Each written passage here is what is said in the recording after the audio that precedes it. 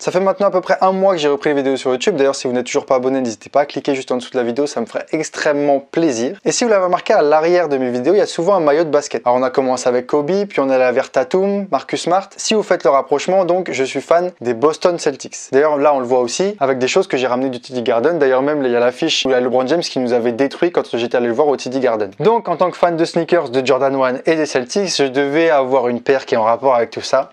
Et bien évidemment, c'est la Air Jordan 1 Lucky Green. Alors la Air Jordan 1 Lucky Green, j'ai pas eu de W sur l'application sneaker, j'ai pas réussi à la voir. Il y a un petit bémol à celle-là parce que c'est une paire femme, donc woman, et elle va jusqu'au 12 W, 44,5 en taille Europe. Et malheureusement, moi je fais du 45. Donc quand je la mets, il faut bien que je recroqueville les pieds, je mette des chaussettes qui sont un peu fines, mais c'est pas grave, il me la fallait et j'en suis très très content parce qu'elle a une petite histoire par rapport aux Celtics. Alors oui, elle a une petite histoire par rapport aux Celtics parce que c'est lorsque Michael Jordan a mis son record de points en playoff, il me semble, si je dis pas de bêtises. D'ailleurs, si vous voulez voir tout ça, allez voir le documentaire sur Netflix où il y a un épisode qui est consacré carrément à ça. Donc c'est lors de sa seconde année où il met son record de points face aux Boston Celtics de Paris, Larry Bird et Kevin McHale, donc l'équipe de folie. Et on a des petits trucs qui sont en rapport avec ça. Donc déjà, on a la couleur verte en rapport avec les Celtics, le rouge à l'arrière et sur la languette, donc je pense qu'ils font un rapport avec les Chicago Bulls. Et on a à l'intérieur, sur la semelle, carrément le parquet du TD Garden. Donc ceux qui ne savent pas, c'est un parquet très emblématique de la NBA. Il y en a un parquet spécifique sur la semelle. Et d'ailleurs, je sais pas si c'est fait exprès, mais sur les coutures ou je sais pas trop comment dire,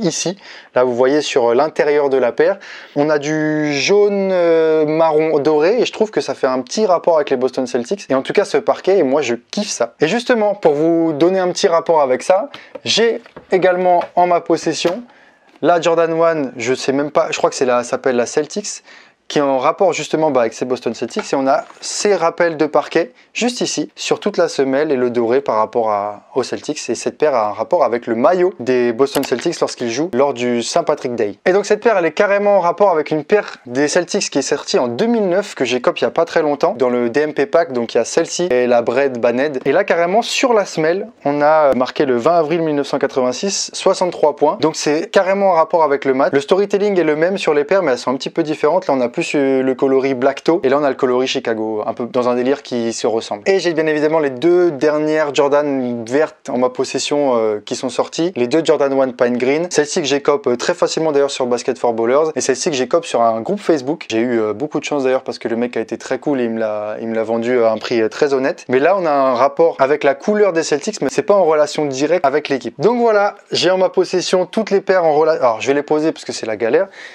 Je vais garder uniquement la Lucky Green, mais j'ai en ma possession toutes les paires en rapport avec les Celtics. Alors il m'en manque trois, il me semble, il me manque deux mid et une low qui, qui sont vertes, mais c'est pas en relation directe avec les Celtics. Mais franchement, je trouve que la Lucky Green est vraiment vraiment cool. Je suis vraiment deg qu'elle soit pas sortie en 45. Malheureusement, c'est comme ça. Et au début, j'étais pas très fan du côté rouge sur la paire parce que je comprenais pas en fait. Mais si c'est en rapport avec les boules, c'est cool. Et il y a peut-être un petit truc avec la Heineken Dunk euh, pour avoir un petit peu de hype. Ça, ça m'étonnerait pas. Mais voilà, je suis très content d'avoir tout ça. Je voulais vous montrer ce que j'avais. C'est pas une vidéo unboxing très classique, mais je voulais vous montrer toutes les paires que j'ai en rapport avec les Celtics parce que je suis très fier de ça. Donc si vous avez kiffé, n'hésitez pas à liker la vidéo, vous abonner pour suivre les prochaines vidéos et me dire laquelle de ces 5 paires vous préférez entre celle de 2009, la Celtics de je ne sais pas quelle année, celle-ci et les deux Pine Green. Et moi je vous dis à très bientôt pour une paire peut-être en rapport encore avec les Celtics. À bientôt, ciao